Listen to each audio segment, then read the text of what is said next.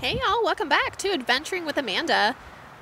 Wynston, Penny, and I are in Flagstaff, Arizona at the Cinder Hills OHV camping area. I found this camp area, which is in Coconino National Forest, on campendium.com.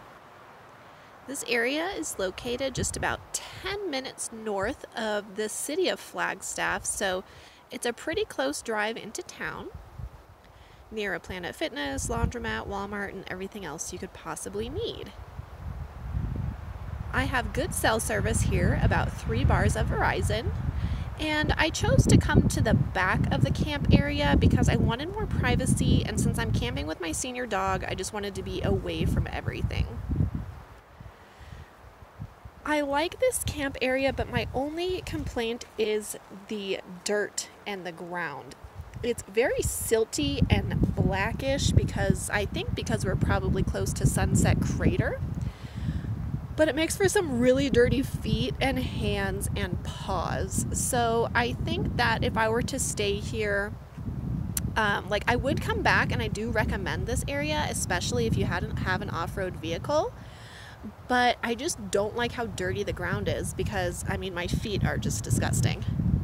So I really like it. It's quiet. It's super easy to access. I believe it's Forest Road 776.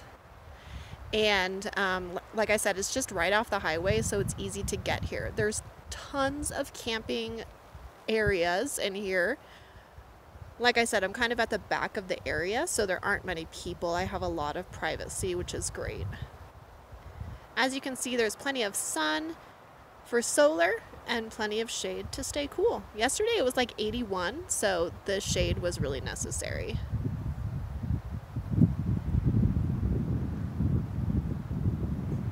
But like I said, this is a free camping area. It is off-road vehicle friendly. It's in Coconino National Forest. Forest Road 776. I found it on Campendium. It's called the Cinder Hills OHV area. It is free and good cell service.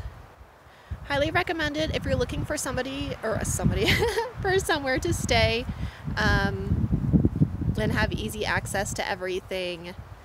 You just have to kind of deal with this dirty ground, and if that's not an issue for you, then this would be a perfect location. So please subscribe to my channel, like this video, and don't forget that we are on Patreon now and you can get all of my personal travel notes if you visit Patreon and all of that information will be in the description as well as the about page on my YouTube channel. Thank you so much for tuning in and we'll see you next time.